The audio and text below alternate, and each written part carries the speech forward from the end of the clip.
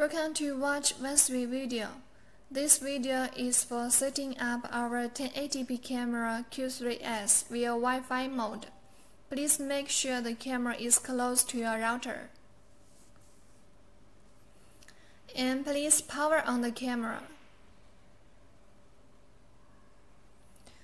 The camera's red light will flash slowly on behind and the camera will scan by itself for one cycle, which means the camera is getting power correctly. Please wait for it to stop.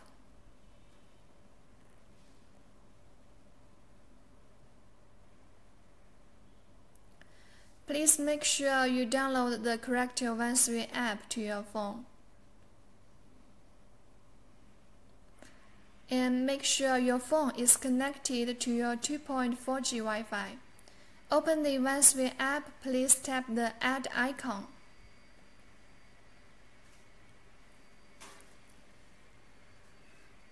And please choose the second one, Add camera via Wi-Fi mode.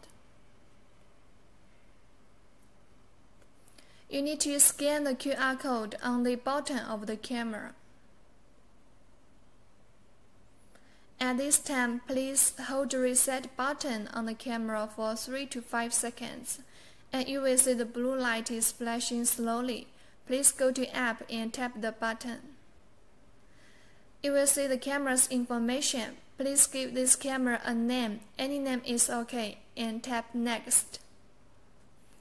And on this page, please input your correct Wi-Fi password. After input the password, please click Connect to Wi-Fi.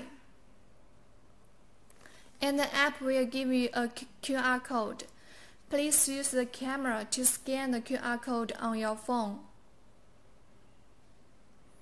During scanning, the camera's blue light will flash quickly, which means the camera is receiving the Wi-Fi signal and you need to go to App tab. Blue light has quickly flashed.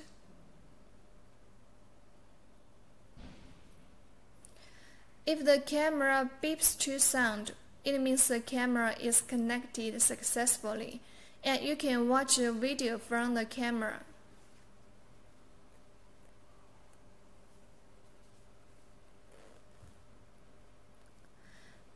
You need to change the default username and password please tap the setting icon and access to advanced setting, user management, admin.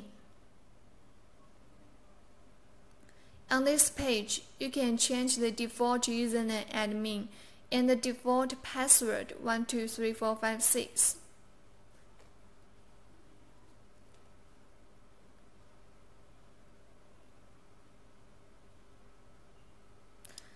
After changing, please tap the check mark to save this setting. If you have any other question, welcome to contact us. You can find our email on more.